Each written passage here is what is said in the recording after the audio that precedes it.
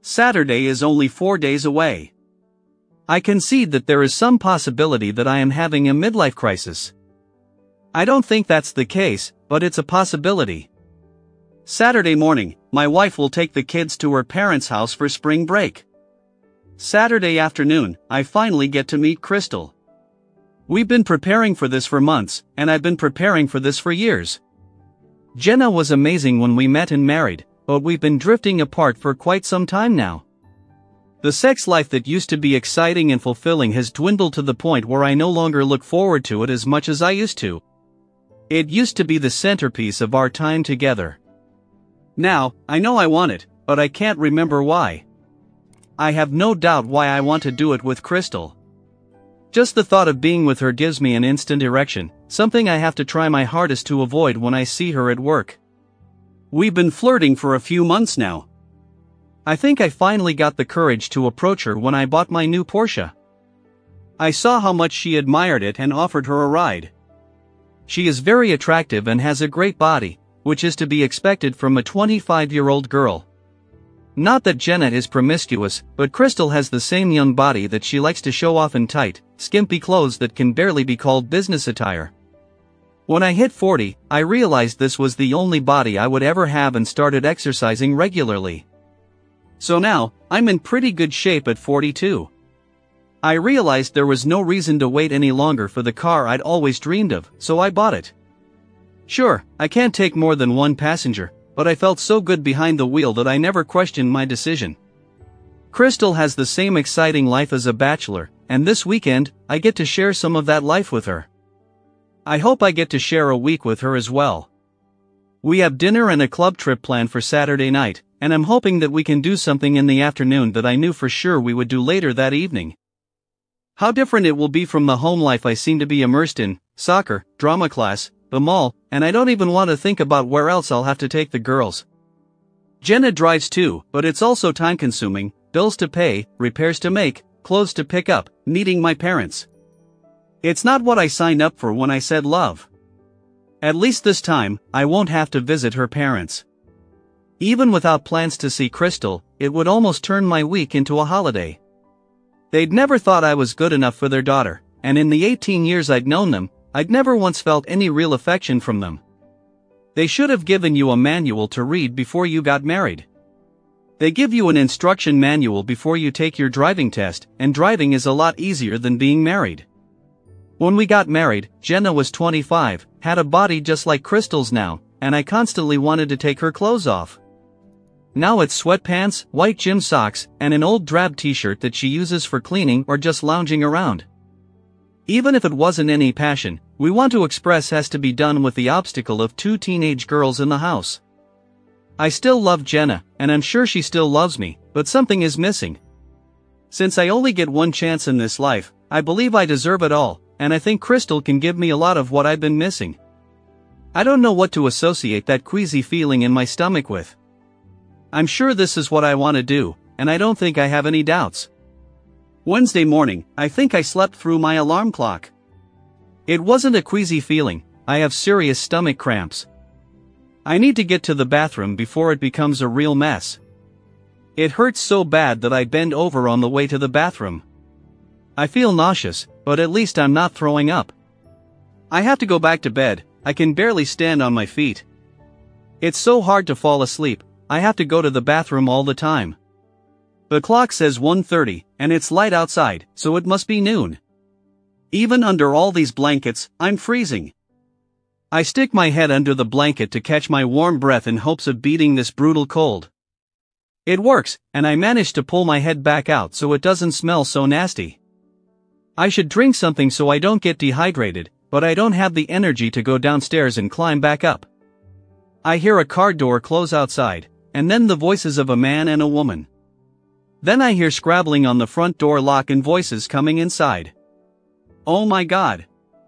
Jenna brought a man into the house, not expecting me to be here. She's having an affair. No wonder we don't get along.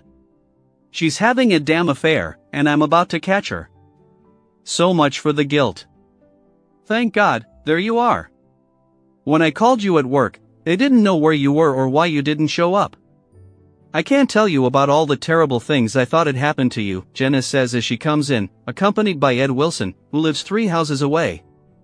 If she was so worried, why didn't she send him? Maybe because he doesn't have a key. Well, Jen, I see there are no burglars, so I'm going to go home, Ed says quickly. She calls on the phone, Roger's here. He's sick, he was probably too sick to call and say he'll be out. Yeah, I'll call when I know better how long he'll be gone. Bye, she says and hangs up. I guess if she knows I skipped work and didn't call, she won't be stupid enough to bring home a lover. She walks over and runs her hand through my hair. Poor baby, she says. Ah, stop it. It hurts, I reply. What can I get you? Something to drink? Have you been drinking anything? Can you hold it down? she asks. I'm nauseous, but I haven't thrown up yet, I say. I'll get you some ginger ale. If we don't have any, I'll run to the store and get some, she says.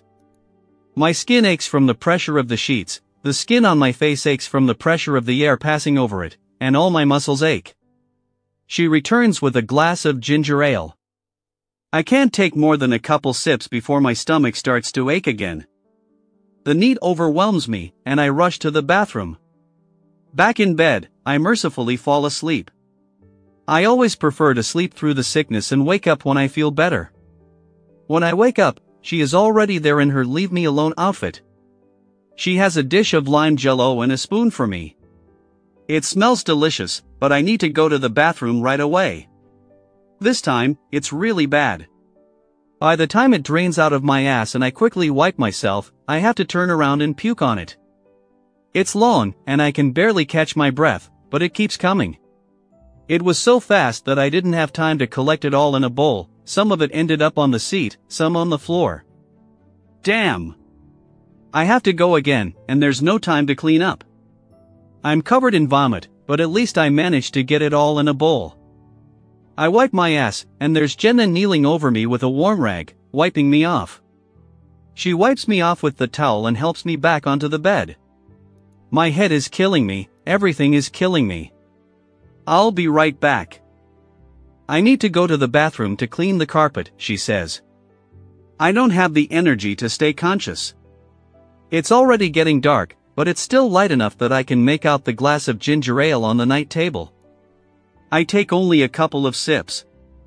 I can feel it sinking down so cold it quickly reaches my stomach, and my stomach is not happy. It starts to hurt again. I don't know which end will be up first, but I know where I'm going. Both ends. At least this time, I'm not messing up my surroundings. The carpet is damp where I puked on it, but it smells nice. Certainly much better than I did. I get a brief respite before I throw up again. I think that's the most apt description as it continues to lash out and there's nothing I can do to stop it. I feel a hand run down my neck, soothing me. I don't know if my skin hurts because I'm mostly immersed in the strong contractions of my stomach, chest, shoulders, and back. Thankfully, it ends, and she holds out toilet paper for me to wipe myself. I flush, and she holds out a paper cup of mouthwash for me. I rinse my mouth out, and at least that incredibly nasty taste is gone. My throat is a little scratchy, but at least it tastes minty. Jenna helps me back into bed, and before we can talk, I'm asleep. The TV comes on, and I notice it's Law and Order. It must be past 10. Jenna notices I'm awake and walks over, handing me a ginger ale. Try it again. You should try to avoid dehydration. That's how people get seriously sick from something like this. I feel like I'm already seriously ill, but I know she means dehydration can be life-threatening. I feel it sink in again, but it's no longer as painful when it hits my stomach. Are you hungry at all? Can I offer you some jello? No, thanks. I'm not hungry at all. Is there anything I can do to help? No, what's the story? I ask. A guy abused his wife, killed his little daughter, but they couldn't prove it, so he only got 15 years. He got hit by a car, and they focused on his social worker from prison. The guy got out of the nursing home early and is living with a girlfriend who has kids, which he's not allowed to do, she explains. Thank you. By the end, all the prosecutors are convinced the social worker did it. I think it might have been her husband. God, I managed to stay conscious for half an hour, maybe I'm getting better. I don't make it to the 11 o'clock news. Over the next few hours, I make four more, less eventful, trips to the bathroom. That seems to be all that keeps me from sleeping non-stop. Well, I make it through the morning. I manage to drink an almost full glass of ginger ale. I wonder how many days it will be before I'm completely dried out. I got goosebumps again, maybe I will be dried out. I don't know how she knew I was awake, but here comes Jenna with a fresh glass of ginger ale and a plate of jello. This time, I think I'm going to try to eat something. I take the plate and spoon and slowly eat. Jenna walks over to the closet and appears with another blanket. I think she sees me shivering. Damn, that was good, I think to myself. I suspect it was mostly good because of the fact that I was able to eat nothing. I can't believe I got full from a crappy little snack bowl. I can only take a sip or two, and nothing else will fit. She lies down on the other side of the bed, settles in behind me, and wraps her arms around me to share her warmth. The shivering subsides. I hear the girls eating breakfast in the kitchen and getting ready for school. So much sleep, and still, I'm tuckered out again. After a while, I wake up to go on another trip to the bathroom. It's so tiring that I need to go back to bed to rest before traveling downstairs. I want something to eat while I'm resting. Jenna walks into the room. What time is it? Don't you have to go to work? I took the day off to take care of you. You were too sick for me to leave you alone. Can I get you anything? Would you like some chicken broth or toast? I think I'll make do with jello for now, I reply, my voice shaking. I think if I threw up a couple more times, I wouldn't have any voice left at all. While she's gone, I assess the situation, all my muscles ache, my skin is still tender, my throat burns, and I have no strength. The chills have passed. Overall, I feel a little better. I slice the jello, take a couple sips, and don't feel terrible. I don't feel good, but I don't feel terrible either. Is there anything else I can do for you? No, I'm fine. Relatively. We're watching a little Tony Danza show, but I'm not paying attention. I'm starting to feel worse and worse. I'm really hot this time.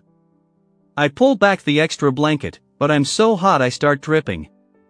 I don't know how she manages to get in and out of the room without me noticing, but Jenna is right next to me again and puts a cool washcloth on my forehead. I wasn't sure if you could take aspirin, so I figured this would help, she says. It does. She makes three more attempts to refresh the washcloth before I cool down. Despite this, all I want to do is sleep, even though I've slept most of the day. I have a vague feeling that she was here. I make a few more runs, but it doesn't seem like there's anything else left to come out. Jenna turns on Dr. Phil. Do you think you're ready to try the soup? While you were sleeping, I bought some salted bread so you can eat them with the soup. I think the girls will be happy to see that you probably won't die if you can handle it.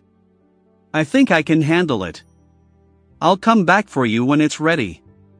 It wasn't long before I was able to climb downstairs without help. Where are the girls? I changed my mind. They were arguing, but I don't want to risk them noticing, Jenna says. Good point. What about you? I did what I had to do. You needed me, and I took the risk. What can I say? I finish my soup and crackers and get full pretty quickly, but I don't feel terrible. I'm on the road to recovery. Jenna sits back and watches me. I go back upstairs while she cleans up. When I get into bed, I notice that my legs feel like jelly, but they don't hurt anymore.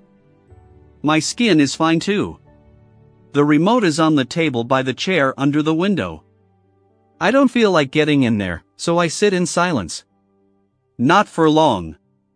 Jenna sits down in the chair and turns on the TV.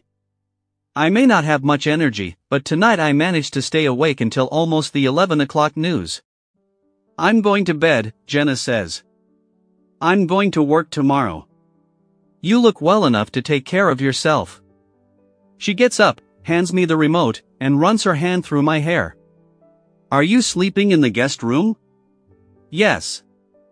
I'm willing to take the risk, but I don't have to make it worse by sleeping next to you. I felt much better. I slept until 10 o'clock, but I don't feel stupefied when I wake up. I can make it up two, maybe three flights of stairs.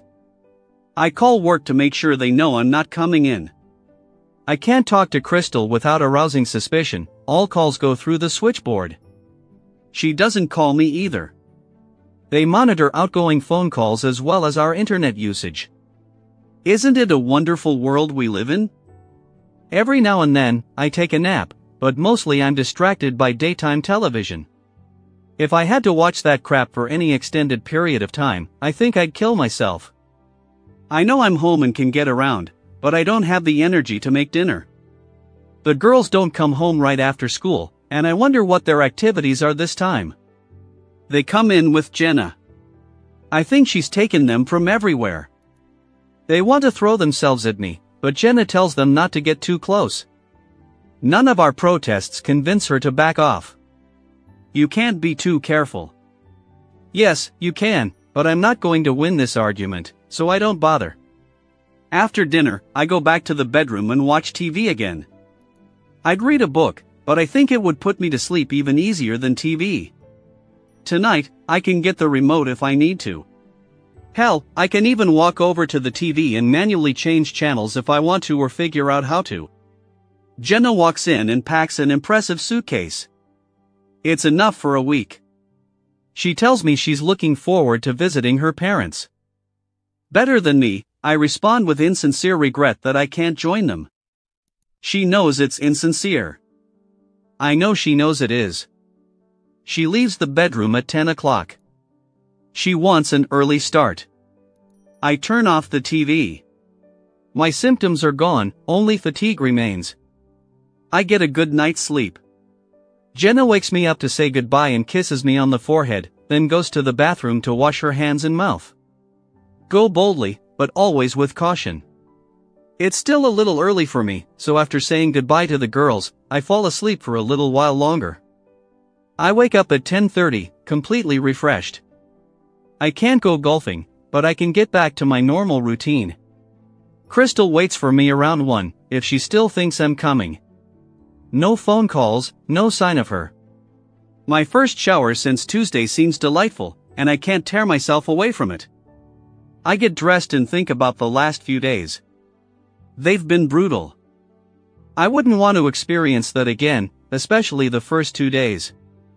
Thank God Jenna was there for me. I could have done it without her, but it wouldn't have been pretty. Fine. I grab a small bag and pack enough stuff for the weekend. I don't need as much as Jenna does. She could live for a month on what she packed. I lock up the house and hop in the Porsche. I start the car a few times to hear its power. Why have a car like this if you can't enjoy the sound of it? And then, I drive away. Sometimes I like to take it out just to drive and enjoy the fact that I own it and can go wherever I want. When I drive a Porsche, I don't take any shortcuts that would cut down on the fun of driving. I'm on the road for hours at a time, sometimes changing gears just to listen to the sound. Finally, I arrive at my destination. I go to the door and ring the bell. The door opens. Dad, a voice shouts happily. Okay, I was having a midlife crisis. The thought of having marvelous sex with Crystal was tempting, and it would be wonderful. It would be new and dangerous and forbidden and wild. But when you compare that to what I stand to lose with Jenna, missing out on that is nothing. Even if she puts up with my behavior, she doesn't deserve it. Either way, I'll sit down with her, and we'll talk and figure out how to get back the zest we've been missing. Just because I'm a guy going through a midlife crisis next to an available, desirable woman doesn't mean I have to be stupid. And just because I'm not talking about it doesn't mean I haven't learned anything in the last few days.